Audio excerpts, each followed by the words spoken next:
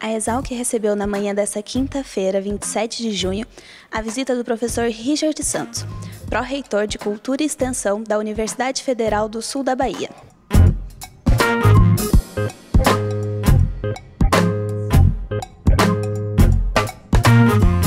Nós estamos criando a canal, o canal FSB né, na Federal do Sul da Bahia e vocês aqui têm um, uma produção e um projeto de televisão, um projeto multimídia é, que para a gente é referência. Então, vir aqui, ver como vocês fazem e aprender aqui, principalmente com essa nossa referência, que é o Fabiano. Então, é, é essa troca para a gente é importante. O canal FSB nós começamos do zero, numa região onde eu chamo que tinha ali um deserto comunicacional, ou seja, o sul, extremo sul da Bahia, onde a UFSB está localizado, é uma região que pega de Ilhéus e Itabuna a Teixeira de Freitas, nos nossos três campi, e nós não tínhamos acesso à comunicação pública como um todo.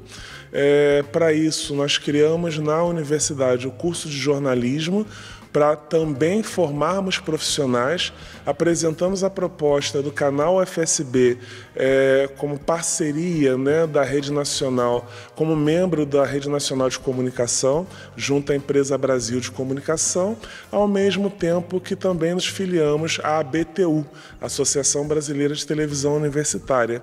Então, a partir disso, a gente tem aprendido com os nossos parceiros e identificado parceiros, como aqui a Exalc, é, que dialogam, que têm muita proximidade com o nosso potencial, mas também com a nossa capacidade humana. Né?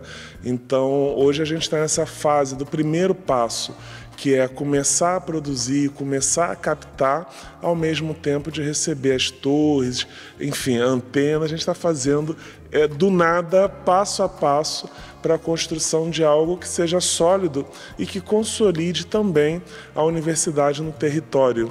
A Federal do Sul da Bahia ela está entre as novas, as supernovas universidades criadas há exatamente 10 anos.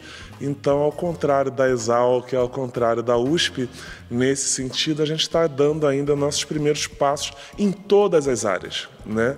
E o canal FSB ele vai servir para um maior diálogo é, da população, da universidade com a comunidade no seu entorno.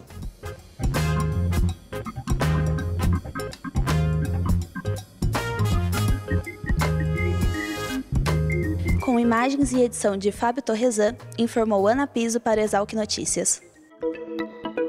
Thank you.